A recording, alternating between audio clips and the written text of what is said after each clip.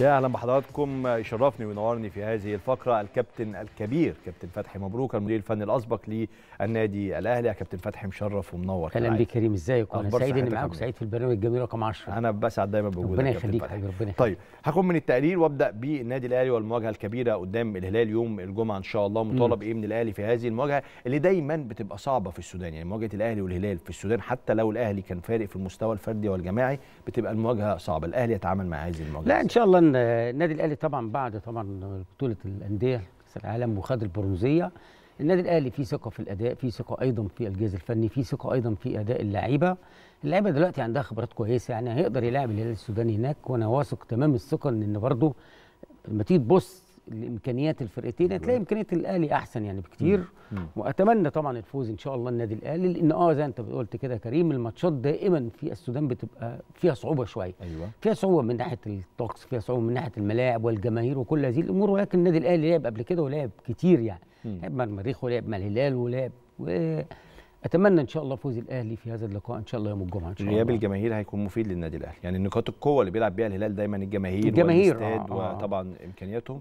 غياب الجماهير ممكن يفرق مع النادي الأهلي. لا هيفرق طبعا هيفرق لأن برضه هم الجماهير في السودان بيحبوا فرقهم قوي بيحبوا المريخ الهلال كل الفرق دي بيحبوها وبيشجعوا طول الوقت.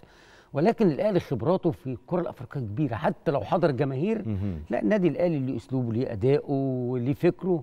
وزي ما قلت لك اللعيبة خبرات. اللعيبة خبرات كويسة جدا في الكره الأفريقية. امكانيات النادي الأهلي واستقراره الفني في الفترة الأخيرة مع مدير فني آه،. جيد ورائع جدا بيفوز ببطولتين دوري أبطال أفريقيا برونزية كأس العالم مرة تانية على التوالي أيضا.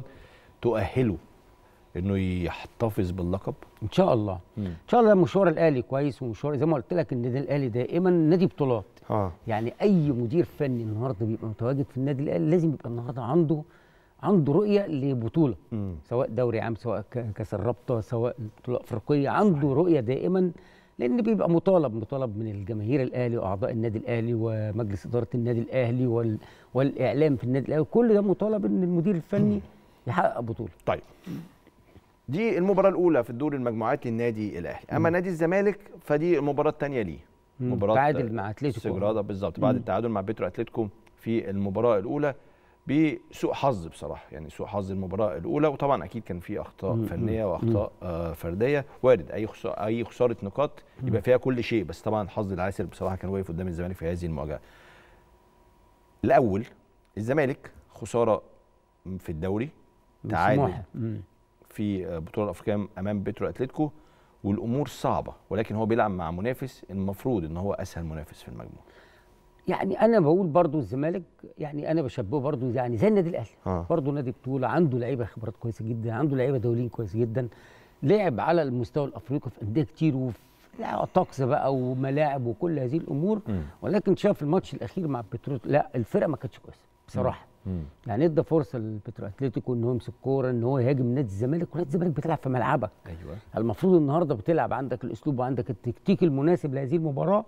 وانت تقدر تخلي دايما فرقة المنافسة تبقى النهارده تحت ضغط. بس أنا أعمل إيه يا كابتن فتحي؟ لما يبقى عندي أربع وخمس كور في العارضة وكور جنب العارضة و... ما أنا يعني في أنا- في سوء حظ وفي؟ سوء توفيق. أنت عارف آه. أنا ساعات مثلا بحط بحط نفسي مكان حضرتك مثلا. لا، انت مدرب واقف على الدكة بره في سوء. عمال تقول طب أعمل إيه تاني؟ لا في سوء ساعات أحيانا الفرقة بي- بيلازمها سوء توفيق أو ساعات إهدار فرص سهلة جدا. صح. ولكن زي ما قلت لك برضو الزمالك كونه يتعادل مع بيترو أتلتيكو هنا في القاهرة. برضو بيبقى صعبة شوية. يفقد نقطتين بتبقى صعبة قوي خاصة إن هو في مستهل مشواره في آه طبعا المجموعات يعني. بتفقد بعد كده خسر المباراة مباراة سموحة. سموحة آه. فالأمور تتأزم أكتر مم. يتعامل إزاي مع مباراة زيكرادا مع هذه الظروف الصعبة. أنا بكلمك على الناحية المعنوية قبل كمان الناحية لا وبص الفنية. طبعا أنا يمكن دور برضو مجلس إدارة نادي الزمالك المفروض يعني برضو إذا كان هناك هزيمة من سموحة وتعادل مع بترو أتلتيكو لازم يبقى النهارده في اجتماع حتى مع اللعيبة برضو يبقى في حوافز في النهارده دافع كويس جدا دافع معنوي. النهارده خلاص إحنا بنبتدي حتى بنعمل start جديد في المباراة القادمة. فدي دور مجلس إدارة ودور طبعا لو في مشرف على كرة القدم أو لجنة كرة قدم في نادي الزمالك ده دورهم. لأن طبعا في اللعيبة نفسها والمدير الفني كارترون واقعين تحت ضغط جامد قوي. وخصوصا بعد برضه الهزيمة من سموحة 2-0 في الدوري يعني. في ناس حملت كارتيرون كل هذه الأخطاء سواء التعادل أو الخسارة بعد كده. في ناس تقول لك لا لعيبة نادي الزمالك هم آه لاعبون كبار المفروض يبقوا بمستوى أفضل من كده بروح أكتر من كده. انت تحمل مين المسؤولية؟ بنتكلم في خسارة سموحة وتعادل لا هو هو دايما بيبقى في دور مدير فني. يعني دايما الناس خلي بالك برضو الإعلام دائما بيحمل المدير الفني المدير الفني يعني برضو لو خسر حتى لو سوء توفيق زي ما قلت لك كده وتعادل الزمالك مين اللي سبب المدير الفني. فاحيانا بيبقى المدير بس الفني لما بتكسب بيبقى المدير الفني برضه يا كابتن فتحي. أحيانا المدير الفني بيبقى مخطئ ممكن في تشكيله في أسلوب لعبه في تكتيكه مخطئ. صح. ولكن برضه اللعيبه بيبقى لها دور كبير جدا. وده دور المدير الفني من خلال توجيهات- توجيهاته ومن خلال تعليماته ومن خلال المحاضرة اللي قبل الماتش بيوم أو بيومين. خلاص عارف أسلوب اللعب وعارف تكتيك اللعب. فكل هذه الأمور إن اللعيب بينفذ لي اللي أنا عايزه. اللعيب أنت النهارده عندك النهارده برضه خلي بالك جهاز جهاز مساعد النهارده بيقف بيتكلم يدي آه. تعليمات وهذه الأمور هاتوا برضه لنا الكره تانية يا جماعة بتاعت محمد عبد المنعم دي قبل ضربة الجزاء عشان عايز أسأل الكابتن فتحي مبروك عنها شوية. عشان محمد عبد المنعم عبد المنعم تحمل آه تحمل انتقادات عنيفة جدا من جماهير نادي الزمالك في هذه الكورة تحديدا في تغطيته للتسلل وفي آه ضربة الجزاء. هجيبها لحضرتك مرة أخرى دلوقتي عشان حضرتك تحلل لي هو كان المفروض يتعامل إزاي محمد عبد المنعم مع الكورة دي. محمد عبد الغني عفوا. محمد عبد الغني آه أنا قلت محمد عبد المنعم. حافظين إحنا محمد عبد المنعم من كأس الأمم الأفريقية عايش معانا محمد. عبد المنعم راح الزمالك. متألق ومبدع محمد عبد المنعم. عبد الغني هو مدافع كبير أيضا مم. بصراحة يا كابتن فتحي وهو مدافع محترم يعني يعني أنا بس صعب عليا شوية إنه شال الليلة. شال الليلة؟ ما هو آه. أي حد بص أي طلع حد. طلع ترند بعد الماتش أي. حد في ال defense النهارده آه. مخطئ بيشيل الليلة. آه. يشيل النهارده الهزيمة يشيل النهارده سبب الت... سبب في الجول. لا. دي دي حاجات واردة في كرة القدم ومن زمان. يعني مش جديدة. لا النهارده أي defense النهارده أي حد من ال defense بيغلط هو مم. بيتحمل مسؤولية. حتى لو حارس المرمى أخطأ بيتحمل مسؤولية. والناس دايما بتفتكر له بقى الحاجات دي غير ال forward ال forward لما بيجيب جول في ماتش الذاكره بتبقى على طول بقى. ال forward عادي. forward عادي. تعدي أي كرة معاك يا كابتن. بص.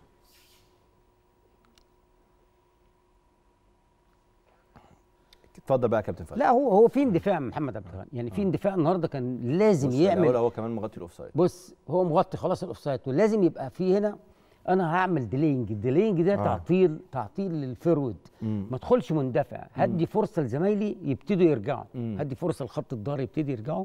وعملية ال delaying دي مهمه في كرة القدم النهارده ليه دايما تحسب الضرب الجزاء لأنه في اندفاع. مم. أنت حطيت نفسك النهارده واحد ضد واحد ممكن النهارده ال forward يبقى فيه مهارة كويسة جدا يعدي ياخد ضربة جزاء كمان. ولكن عملية ال delaying بقى التعطيل هنا دي مهمة جدا. مم. وخصوصا هو بعيد. يعني مش النهارده مش مواجه للمرمى بعيد. النهارده عملية التأخير دي كانت مهمة جدا جدا لمحمد عبد الغني. طيب عايز أخش مع حضرتك شوية على الدوري الممتاز. مم. رجع الدوري بكل مبارياته الحلوة مبارياته اللي فيها بعض المفاجآت وبعض الأمور الطبيعية والمنطقية. نبدأ بيه. هذا الأسبوع الأسبوع التاسع كان مباراة الاتحاد السكندري وإيسترن كومباني وإيسترن كومباني بياخد نقطة, نقطة. عشان يبدأ يفوق شوية. الكابتن علاء عبد العال من نتائج سيئة جدا منذ بداية الموسم. النقطة الثانية لفريق إيسترن كومباني. والاتحاد من وجهة نظر الاتحاد والجهاز الفني للاتحاد إن هم أهدروا نقطتين في هذه المواجهة المواجهة دي اللي كسبان فيها إيسترن كومباني طبعا مم. لأن برضه خلي بالك إيسترن كومباني يمكن في الترتيب الأخير وعنده نقطتين وكان عنده نقطة قبل هذا اللقاء صح يعني برضه وما كسبش ولا ماتش مهم. وكانت هزائم بصفة مستمرة كابتن علاء يمكن لعب هذه المباراة بأسلوب كويس مم. بأسلوب كويس وكان هو حتى يعني هو كان حتى بعد الاتحاد ما سجل مم. هو كان عايز يسجل يعني عنده الرغبة يعني حتى التغييرات اللي عملها كان عنده الرغبة في إحراز هدف التعادل وفعلا نجح الكابتن علاء تا- فعلا ياخد point من نادي الاتحاد السكندري ودي خسارة لنادي الاتحاد السكندري لأن إيسترن كومباني كل الفرق كسبته في ترتيب في الترتيب مم. الأخير يعني. صحيح. مم. الاتحاد دلوقتي في المركز السابع برصيد آه 13 نقطة. إيسترن كومباني في المركز الأخير بنقطتين. نقطتين. الاتحاد عنده تشكيلة حلوة قوي وعنده فرقة محترمة جدا وبالتأكيد عنده جهاز فني مم. كبير بقيادة كابتن الكابتن حسام حسام آه، حسن أحيانا بحس الاتحاد بيعرف يحصد نقاط صعبة جدا واحيانا بحس إن هو يهدر نقاط سهلة جدا هو أهدر في مباراة آه. إيسترن بصراحة يعني آه برضو خلي بالك اللعيبة دايما لما تحس إن الفرقة إن الفرقة اللي بتلعب إيسترن كومباني وده في الأخير وعنده نقطة بيبص على الجدول. بيبص على الجدول بيبص على الجدول ما بيبصش على. الملعب هو عارف. مم. لا دي فرقة لا باللعيب تركيزه حتى بيبقى قليل جدا. ولكن ده دور جهاز فني برضو خلي بالك إن كرة القدم دائما كرة القدم دائما ما تعرفش إلا الفوز وتعرف الرغبة وتعرف النهارده الإصرار على الفوز. دي كرة القدم. ما يجيش النهارده عشان الفرقة النهارده في مركز أخير و point ومش عارف إيه واللعيبة النهارده تبقى ب relax أو ثقة الفوز في أي وقت. مم. لا هو تعامل تعامل فعلا مع كده مع الإيسترن كومباني وكان كسبان واحد. ولكن ادى الفرصة الإيسترن كومباني يتعادل في الآخر ويتعادل بواحد واحد النتيجة. طيب مباراة المقصة وطلائع الجيش آه، صفر صفر. مباراة كانت سلبية حتى أداء الفريقين في هذه المواجهة ما كانش أداء كبير. لا هو طبعا المقصه يمكن برضو يمكن برضو مش مش مش فرقة المقصه اللي كنا نعرفها. مم. المقصه دايما بيبقى في ليه دور كويس قوي حتى بيبقى في ترتيب الجدول تلاقيه الرابع الخامس. ولكن دلوقتي هو في ترتيب برضو بال 14 ترتيب ال 14 يعني برضو ترتيب بس مصر المقصة جامع حتى الآن بنتكلم في 8 نقاط. لما آه. تبص بقى على تشكيلة مصر المقصة يا كابتن فتحي تقريبا 90% منها من اللاعبين الشباب. ما مفيش عشان نجوم. عشان ماشيه كتير. صحيح بس رغم يعني كده هو قدر يجمع 8 نقاط. آه بس يعني هو الاستثمار برضه في كرة القدم ده مهم جدا. وبعدين المقص عنده قطاع ناشئين كويس وعنده قطاع شباب صح. كويس فهو بيستثمرهم زي انت ما قلت كده. إن هو خلاص اللعيبة اللي كانت عنده أو اللعيبة اللي كانت قوام الفرقة مم. معظمها مشي كلها معظمها مشي، كله آه. اتباع كله اتباع ويعني الفرقة دلوقتي حتى الميزانية بتاعتها آه، قلت قلت، آه طبعا. طلائع الجيش بقى اللي غريب شوية مش هو طلائع الجيش يعني طلائع الجيش المواسم اللي فاتت كان مواسم رائعة جدا الموسم ده شوية آه موسم غريب علما إن هو كان بادئ الموسم كمان ب super super. مصري وفايز على النادي وفايز على النادي الأهلي وخد النادي السوبر، الأهلي آه. وفايز ببطولة سوبر الآن في المركز ال 16 16. يعني بست نقاط فقط ست نقاط آه يعني برضه حاجة غريبة آه يعني برضه عارف ال- اللي أنا بستغرب واحد والتلات اللي أنا. بستغرب حتى شو الإنتاج الحربي يعني الإنتاج الحربي في ترتيب الجدول الدرجة الأولى آه. برضه بعيد قوي امم يعني برضه من الإنتاج الحربي نازل من ممتاز برضه فرقة مم. كويسة وناس ده برضه في ترتيب وحش جدا مم. طلائع الجيش برضه عنده الإمكانيات مم. عنده الإمكانيات كويسة والكابتن عبد الحميد بسيوني كان عامل معاهم شغل كويس جدا صحيح وطالما طلائع الجيش في مركز أنا شايفه برضه مركز لا يناسب طلائع الجيش بإمكانياته مم. باللعيبة اللي عنده لا يناسب طلائع الجيش لا يناسب طيب مباراة أخرى كانت مباراة مهمة غزل المحلة والمقاول العرب غزل المحلة قدر يقتنص نقطة من المقاول العرب محمود يونس كان سجل المقاول العرب هدف أول وقدر غزل المحلة يتعادل, يتعادل. بهدف آه، لمحمد فتح الله المدافع الرائع جدا لغزل المحلة مباراة بين محمد عودة المو- المقاول العرب كان. بادئ الموسم مع غزل المحلة بيلعب مع فريقه. القديم وفي المحلة قدام الكابتن عبد الحميد بسيوني والكابتن محمد عودة كان معايا وقال إن جماهير المحله استقبلته بشكل محترم وإدارة المحله استقبلته بشكل محترم لا هي طبعا هو بص دائما الجماهير بتحس بالمدير الفني بتاعها حتى لو هو راح المقاولين ورجع المقاولين بناء على رغبته لأنه ابن نادي المقاولين وقطعا أنا مش هسيب نادي المحلة وهجري. لازم أستأذن الناس اللي مسؤول مجلس إدارة والكلام من ده هم وافقوا لي. وبعدين هو حط يمكن برضه الشرط الجزائي يا جماعة خدوا الشرط الجزائي يعني تعامل ب... باحترافية وتعامل باحترام مع مجلس إدارة نادي المحلة. فكون الجماهير بتستقبله استقبال ده لا ده جماهير المحلة وطابع جماهير المحلة على فكرة. حتى لما كنا بنلعب النادي الأهلي بيلعب ضد غزل المحلة تلاقي الاستقبال رائع من جماهير المحلة بصراحة يعني. الكابتن عبد الحميد بسيوني آه، مدير فني كبير يؤدي بشكل رائع ما حضرتك لسه قايل كان مع طلائع الجيش أدى بشكل رائع وكسب السوبر من النادي الأهلي والآن مع غزل المحلة ويقدم مباريات إلى حد كبير. لا أنا امبارح والله شايف فرقة غزل المحله كويسين جدا بيلعبوا رتم سريع كرة سريعة. يعني مش عايز أقول لك بيلعبوا الوان تاتش والتو تاتش دي في الكورة ودي حاجة كويسة جدا. أنا شايف فرقة غزل المحله إنه عنده لعيبة كمان كويسة. عنده لعيبة كويسة يعني فعلا. مباراة سموحة والزمالك كنا لسه بنتكلم عنها مم، وسموحة يفوز بهدفين. هدف آه، أول لصديق أوج- آه، جولو آه، هدف رائع جدا هدف مم. من الأهداف الحلوة قوي هاتوا لنا يا جماعة الهدف ده كمان كان هدف رائع جدا. وهدف تاني لعبة الكبير الوادي كنا لسه جايبين دلوقتي الكورة ضربة الجزاء. الجزاء اللي عملها محمد عبد الغني. إيه اللي عمله الكابتن أحمد سامي عشان يفوز بهذه المباراة؟ لا أحمد بص يعني أحمد معاه لعيبة كويسة. أحمد أيضا من عنده فكر كويس. مم. أنا برضه فكره كويس فكره تدريبي كويس بيلعب نادي الزمالك. هو مقفل لك مساحات كويسة جدا. بص بص جمال هدف جمال هدف يا كابتن فتحي. تصويبة تصويبة رائعة ومفاجأة جدا لمحمد عواد. محمد عواد حارس حظه سيء بصراحة. دايما يعني المباريات اللي الزمالك فيها بيبقاش في الفورمة تلاقيه لا بس هي برضه خدمت طبعاً. لا, لا طبعا. لا لا أنا بقول لك مش مش خطا لمحمد عواد أنا بقول حظه وحش في في النتائج يعني مش على مستوى الأداء. بص بقى زي ما قلت آه. لك الجون الثاني لينج صح. خل- خليك فيه هدوء. خليه يطلع على بره كده على وهدوء هدوء من غير ما تحصل أي التحامات لأن أي التحام في منطقة الجزاء خلاص ضرب جزاء يعني. صحيح.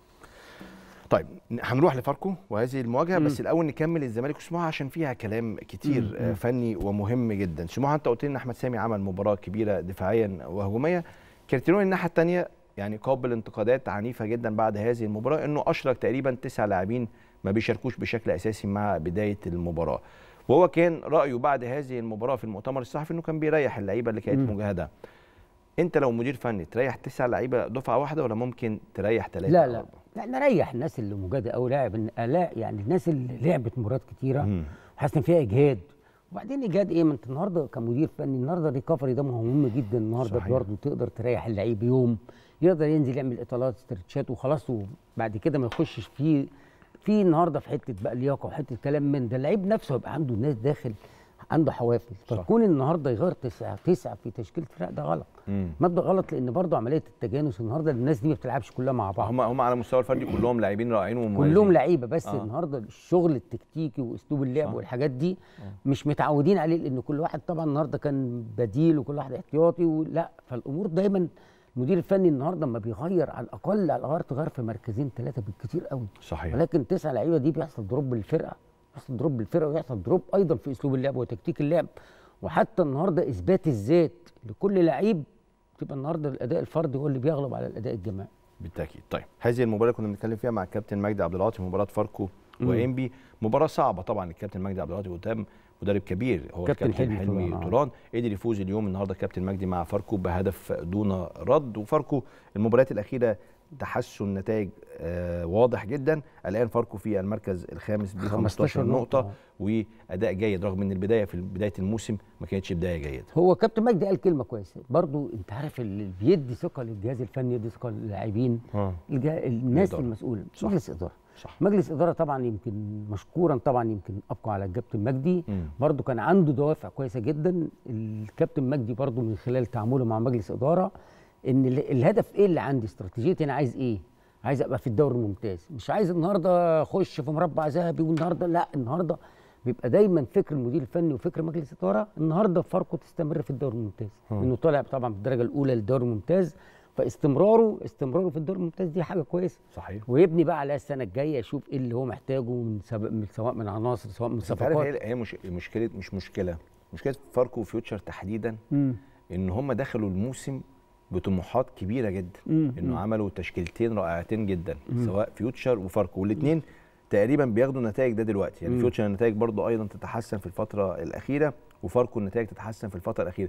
فما حسسكش إن هم الفرقتين اللي داخلين عشان يبقوا في الدوري. مم. دول حسوك إن هم الفرقتين اللي داخلين يلعبوا على المربع الذهبي. لا مش مش شرط في أول موسم كده. مفهوم. مش شرط في أول موسم هو, هو ممكن ما يكونش أهدافه كده بس يعني أنت إحساسك كده إنه الفرقتين حلوين قوي. الدوري النهارده برضو عملوا فرقتين حلوين. ما تيجي تبص النهارده دوري هتلاقي أهلي زمالك النهارده في النهارده في سموحه في النهارده بيراميدز في النهارده الاتحاد. يعني في برضه فرق لا ليها أهمية فرق متمرسة. فرق صح. عندها برضه لعيبة كويسة عندها طموح وعنده وبعدين إيه خلي بالك العنصر الجماهيري كمان. عنصر عنده عناصر جماهيرية يعني معظم الفرق دي شعبية وجماهيرية برضو كبيرة. مم. فالنهاردة كون إن فيوتشر النهارده كون إن بياردو وفاركو النهارده بيبقوا تواجدوا في الدوري الممتاز آه طموح كويس إن هو يبقى يفكر في مربع ذهبي.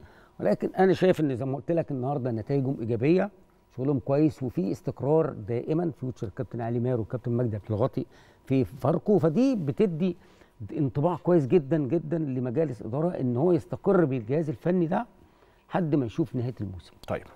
بيراميدز والإسماعيلي هي مواجهة كان الإسماعيلي يبحث فيها عن فوز مهم جدا يخليه يطلع من المرحلة الصعبة جدا في جدول ترتيب الدوري الممتاز وبيراميدز أيضا كان يبحث عن هذا الفوز لصدارة جدول ترتيب الدوري الممتاز. عشان كده كانت المباراة مهمة جدا وقوية جدا وحتى مسار المباراة كنت تحس إن فيها نديه كبيرة جدا إلى أن حسم بيراميدز المباراة بهدف أحمد سامي. رأيك إيه في هذه المباراة وموقف بيراميدز والإسماعيلي؟ لا وأنا أنا يعني أنا شخصيا بقول أنا زع... أنا زعلان على الإسماعيلي.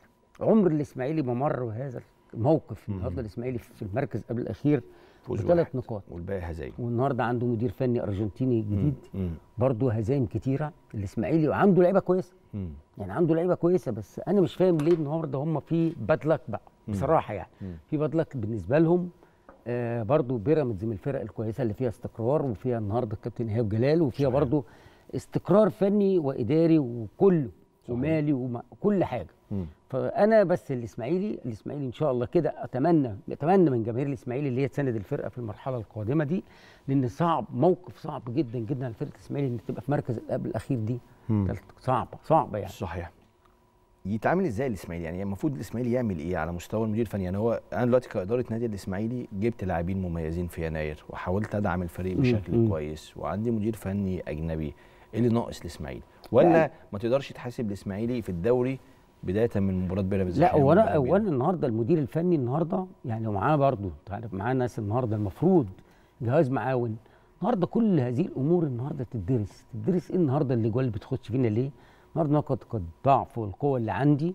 النهارده أسلوب اللعب هل أسلوب اللعب اللي بتلعب بيه ده مناسب للإسماعيلي ولا مش مناسب؟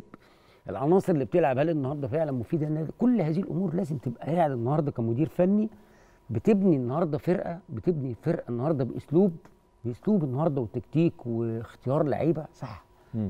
ما يبقاش النهارده المدير الفني جاي ده فرقة الإسماعيلي وينزل النهارده فاتح الملعب وتبقى النهارده الملعب مفتوح يتغلب في أي ماتش.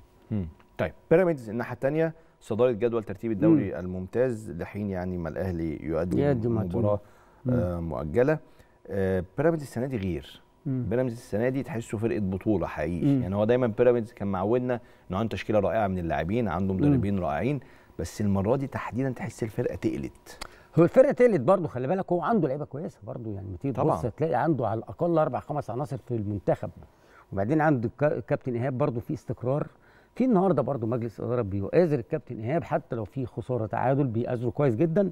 اللعيبة عندها دوافع اللعيبة عندها دوافع. خلي بالك اللعيبة عندها دوافع ان هي تبقى في مربع ذهب وتلعب البطولة الكونفدرالية ولا بطولة الأبطال. دي برضه بيبقى عندها دوافع كويسة جدا لأن اللعيب من خلال الحاجات دي من خلال الحاجات دي اللعيب بيبتدي يتعرف واللعيب بيبقى ليه تقل تقل فني. النهارده التقل الفني برضه بيديله النهارده رؤية إعلامية كويسة جدا. النهارده الناس بتتكلم عليه. النهارده بينضم لمنتخب مصر كل هذه الأمور.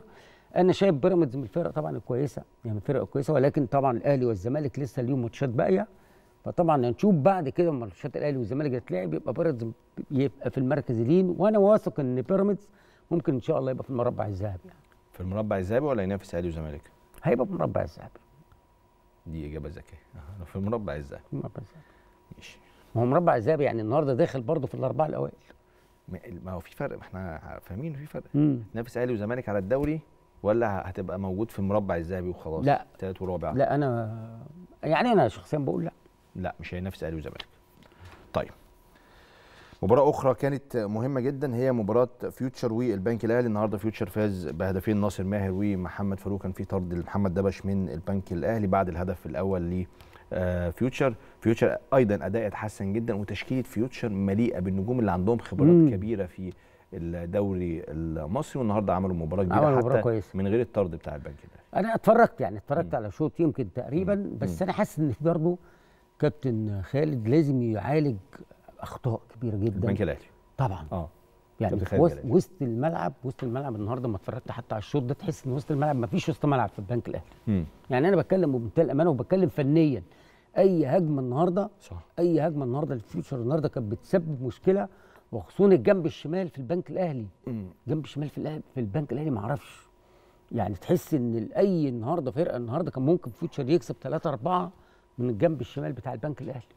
فلازم الكابتن خالد جلال يعالج هذه الأخطاء ولازم يبقى النهارده عملية النهارده ارتداد وسط الملعب عشان يساند الدفاع. دي حاجة مهمة جدا ما يبقاش النهارده فرق كبير جدا دفاع النهارده في حتة ونص الملعب في حتة. لا النهارده بقول لك كان النهارده يعني أنا شفت البنك الأهلي قبل كده كان بيلعب بأسلوب كويس وبتكتيك. النهارده مفتوحين عشان كده فيوتشر النهارده كان بقول لك ممكن يكسب 3 4 وخصوصا في حاجة في الجنب الشمال عند الكابتن خالد جلال. فيوتشر آه، في هذه المواجهة شهد هدف لناصر ماهر ناصر بعد ماهر هدف حلو غياب قوي. هدف حلو جداً، قوي، آه. بعد غياب طويل. هدف كويس. لعيب موهوب بس تحس إن ناصر دايما يعني مش مش بياخد لنفسه المساحة الحقيقية لنفسه هو. لا هو ناصر من زمان يعني. آه. حتى حتى في قطاع في قطاع عندنا في الشباب كان لعيب كويس. مم. يعني اللعيب لعيبة من اللعيبة الكويسة اللي عنده مهارة وعنده رؤية كويسة. وبيثبت بقى ذاته يعني بيثبت ذاته حتى في فيوتشر بيثبت ذاته في أي نادي بيروح بيثبت ذاته. مم. لأنه هو عايز يعني برضه عايز النهارده يبقى الناس بتتكلم عليه عايز النهارده يبقى النهارده من اللعيبة اللي بتجيد النهارده سواء في تسجيل أهداف أو صناعة لعب النهارده. ليه النهارده إمكانيات كويسة يعني طيب. من اللعيبة الكويسة فعلا. أه هقول لحضرتك جدول الدوري حتى الآن وبعد كده هتكلم معاك على حاجة مهمة في منتخب مصر ومباراتي تصفيات كأس العالم. طبعا ال- الأسبوع دوت أجلت منه مباراة الجونة والنادي الأهلي. وبكرة إن شاء الله المصري وسيراميكا كليوباترا. جدول ترتيب الدوري الممتاز حتى هذه اللحظة بيراميدز في صداره جدول الترتيب ب 20 نقطة. الأهلي في المركز الثاني ب 19 نقطة. الزمالك بنفس الرصيد في المركز الثالث وسموحة في المركز الرابع ب 18 نقطة فاركو في المركز الخامس ب 15 نقطة المصري في المركز السادس ب 13 نقطة بنفس رصيد الاتحاد السكندري في المركز السابع وفي المركز الثامن فيوتشر ب 12 نقطة وفي المركز التاسع البنك الأهلي ب 11 نقطة وبنفس رصيد غزل المحلة في المركز العاشر.